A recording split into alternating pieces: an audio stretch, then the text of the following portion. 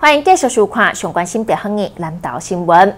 回馈地方的同时，嘛培养学生实作经验。草屯东迪高中水电科学生运用数学技术，协助技术社区关怀古点进行水电维修，就有实际操作，嘛加强解决问题能力。未来苏新更希望一旦到独基中者出来服务，帮助关怀各界老大人。上面如果碰不到的话，从这里。地道市基德之下，学生摕着工具背上腿，检查着电通的线路，以加强固定甲做清洁动作。也是讲伫壁边为社区据点安装专门用的插座的设备，或是大人用水用电会使更加安全。近的火灾都是很多延长线去延长，然后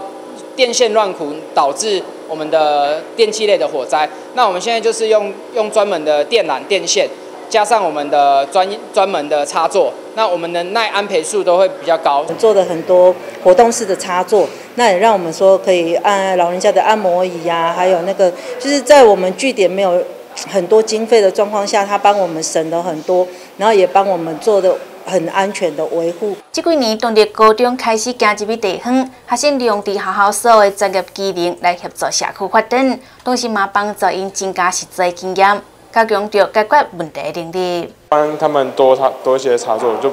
插通电比较方便，然后换水龙头，然后保电风扇，还有修电风扇，因为有一些坏掉了，就很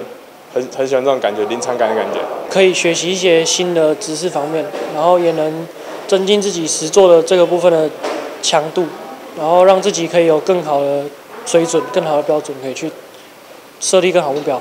那如果出来外面像这样子走出校园的话，他们会遇到的是突发状况，他们会不知道怎么解除的时候，那我们去跟他教导，那他会比较容易去吸收。那以后出去工作的话，会比较容易就是去解决问题。这样子会比较多经验。他原本是这个在漏水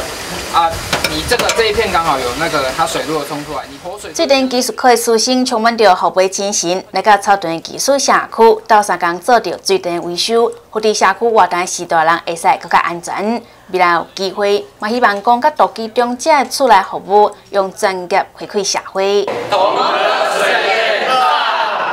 记者林明新采报道。